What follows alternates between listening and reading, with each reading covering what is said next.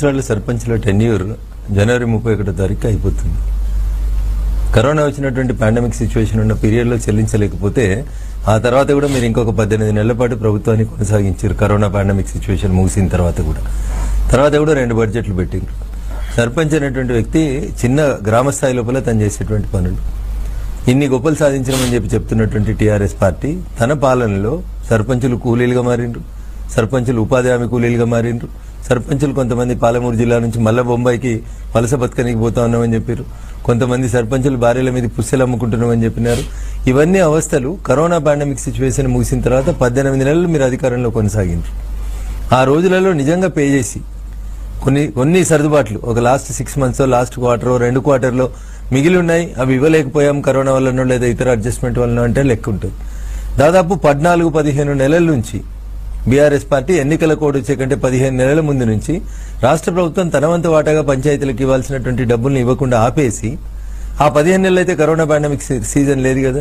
మిత్రుడు చెప్పినట్టు corona pandemic situation ఉన్న టూ ఇయర్స్ లోపల సర్పంచులు ఇబ్బంది పడ్డారు రాష్ట్ర ప్రభుత్వం పడ్డది కేంద్ర ప్రభుత్వం పడ్డది ప్రజలందరూ భరించారు. ఈ బిల్లులు ఆ సమయంలో ఇక అవసరం ఈ బిల్లులన్నీ ఎన్నికల కూడా వచ్చే కంటే ముందు పదిహేను నెలల నుంచి దాదాపు గ్రామ పంచాయతీలకి రాష్ట్ర ప్రభుత్వం తన వంతు వాటాగా రిలీజ్ చేయాల్సినటువంటి డబ్బులను రిలీజ్ చేయక మిగిలిపోయినటువంటి dues as due to various reasons చేయలేకపోయామంటే అది బాగుంటుంది కానీ కరోనా పాండమిక్ ఎప్పుడో రెండు సంవత్సరాల క్రితం ముగిసినటువంటి కరోనా పాండమిక్ సిచ్యువేషన్ని తీసుకొచ్చి అందువల్ల మేము బిల్లులు పే చేయలేమంటే అంతకంటే ఎక్కువ పే చేసిరు సర్పంచ్లకు ఇవ్వాల్సినటువంటి డబ్బుల్ని ఇతరత్ర అనేక రంగాలలో పే చేసిరు మీరు.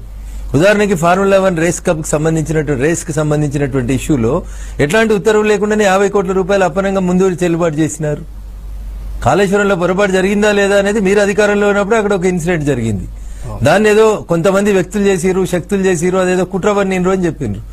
బేసికల్గా ఏం జరిగింది అనేది ఈ రోజు దినపత్రికలలో గత నాలుగైదు రోజుల నుంచి వస్తున్నటువంటి అంశాలు కాగు పేర్కొన్నటువంటి అంశాలు అని చెప్పి కొన్ని అంశాలు వస్తా ఉన్నాయి. ఉదాహరణకి మా మల్లన్న సాగర్ తీసుకుంటే అక్కడ మల్లన్న సాగర్ ప్రాజెక్టు కట్టడమే వయబిలిటీ కాదు కట్టొద్దని అక్కడ భూకంపాలు రావడానికి ఆస్కారం ఉందని చెప్పి అప్పుడున్నటువంటి శాస్త్రవేత్తలు ఇచ్చిన నివేదికని రాష్ట్ర ప్రభుత్వం పక్కన పెట్టి మల్లన్న సాగర్ను కట్టింది అని చెప్పి కాగు తన నివేదికలో పేర్కొన్నదని నిన్నటి నుంచి మా కాన్స్టిట్యున్సీలో ఒక రకమైనటువంటి భయాందోళనకి ప్రజలు గురవుతా ఉన్నారు. మీరు పని చేసిండ్రా చేయలేదా అనేటువంటి అంశాలను తీసుకుంటే దాని మీద సమీక్షలు చేస్తా ఉన్నారు కాళేశ్వరాన్ని సమీక్షిస్తున్నామన్నారు. నిన్నను మొన్న ఆ గొర్రెల యూనిట్లకు సంబంధించి అవినీతి జరిగిందని ఒక ఎఫ్ఐఆర్ చేసినాం ఏసీబీకి ఇచ్చినామని చెప్పినారు. ఈ రోజు రేపు అరవింద్ కుమార్ గారు అనేటువంటి ఎవరైతే హెచ్ఎండిఏకి ఊడాకి హెచ్ఎండిఏకి జిహెచ్ఎంసీకి అధికారిగా ఉన్నారో వారి స్టేట్మెంట్ తీసుకొని అది అప్పుడున్నటువంటి మంత్రి గారి ఆదేశాల మేరకే అడ్వాన్స్గా యాభై కోట్లు చెల్లించినామన్నారు.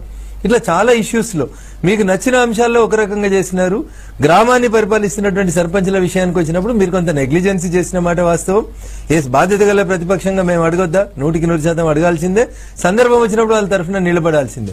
కానీ ఇవ్వాల్సింది మీరు ఇయ్యలేకపోయినాము అనడానికి మీరు కరోనా అనే పాండమిక్ సిచ్యువేషన్ని సాగ్గా చూపెట్టడం మంత్రి గారికి సరైనది కాదేమో అనేది నా భావన ఇక్కడ. వారు వేరే కారణాలు చెప్పి ప్రభుత్వం due to various reasons last two quarters last one year నుంచో చేయలేకపోయినాం.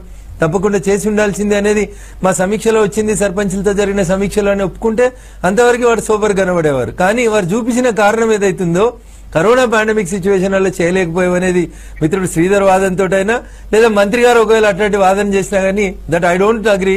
సర్పంచులు కూడా ఆ వాదనతో ఏకీభవిస్తారని నేను అనుకోరు సత్యన్న. ఎందుకంటే ఇవి పద్నాలుగు పదిహేను నెలల నుంచి రావాల్సిన బిల్లులు. అంతకుముందు కరోనా అయిపోయింది కరోనా తర్వాత ఏడాది అయిపోయింది అవన్నీ అయిపోయినాక ఇది లాస్ట్ వన్ ఇయర్ ఇది వాళ్ళకి సర్పంచులకి పాపం.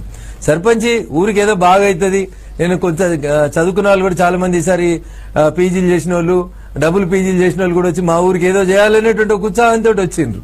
సో ఒక వన్ ఇయర్ బిల్లులు ఆగిపోతే సత్యన వాళ్ళకి లక్ష రెండు లక్షల కాడికి వెళ్ళి ముప్పై లక్షలకు పేరుకుపోయేసరికి అది వడ్డీలు కట్టలేక కూడా ఆత్మహత్యలు చేసుకున్నటువంటి పరిస్థితిని మనం చూసినాం. అది దురదృష్టకరం. అట్లాంటి సంఘటనలు జరగకుండా ఉండాల్సింది. ఎస్ వారు తప్పుల్ని సమీక్షించుకుంటారా? ఒప్పుల్ని సమీక్షించుకుంటారా? ప్రజల్ని కన్విన్స్ చేస్తారా?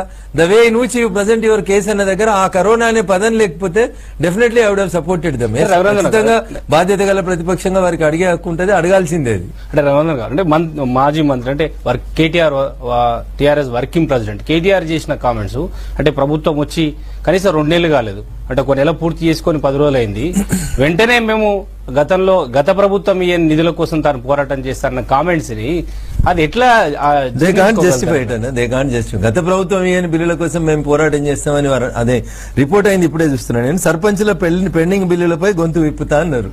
So this is what I'm seeing in front of the paper so దాంట్లో కరోనా అని రాసిరు మళ్ళీ. కరోనా పాండమిక్ సిచ్యువేషన్ వల్ల బిల్లులు చెల్లించలేకపోయినా అన్నారు కొంత సమయం ఇవ్వాలి శ్రీధర్ ఒప్పుకున్నట్టు కొంత సమయం ఎవరికైనా కొత్తగా వచ్చినటువంటి ప్రభుత్వానికి ఇవ్వాలి ఇస్తారని నేను అనుకుంటా ఉన్నా. బట్ పార్లమెంట్ ఎన్నికలు ఉన్నాయి కాబట్టి ఈ రకమైనటువంటి వర్డ్స్ ఎక్స్చేంజ్ ఆఫ్ వర్డ్స్ జరుగుతున్నాయేమో అని నేను అనుకుంటా ఉన్నాను. ప్రధానంగా ప్రతిపక్షమైన పాలకపక్షమైన పరిస్థితిని బట్టి మెదులుకోవాలి.